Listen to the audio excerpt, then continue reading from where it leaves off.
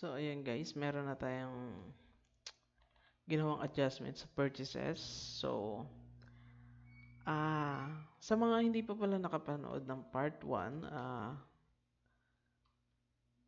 ilalagay ko yung nasa description yung part 1 ng ah, accounting system natin. So, dito sa purchases kasi meron tayong error na nag-occur. So, we made an adjustment. So, let's try. And then, one, uh, inventory mo is, uh, let's check for our inventory.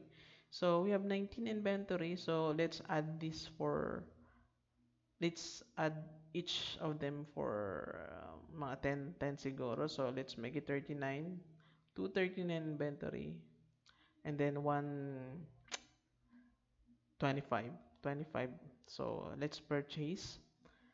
Uh, dito nag uh, add customer super SM supermarket. Supermarket. So number and then somewhere in limits. And oh so let's put it in ano uh, panay.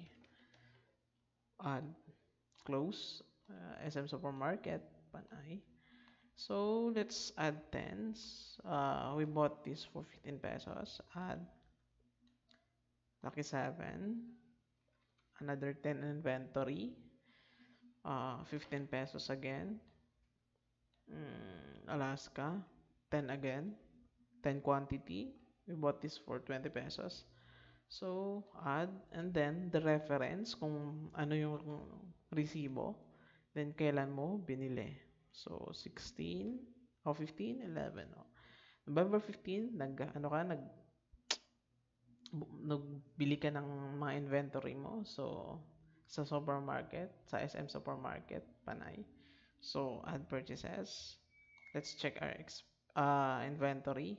That's that's the in inventory you have right now. So, updated siya. So, close. Then, uh, sa sales uh, sales mo may 39 ka available for uh, available goods for sale.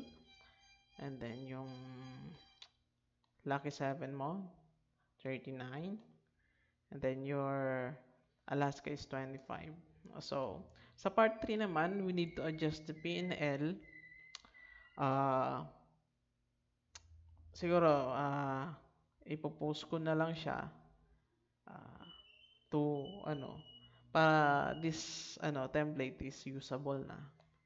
So, see you on part 3 guys. Uh, don't for don't forget to like and subscribe. Uh, thank you. Let's close this.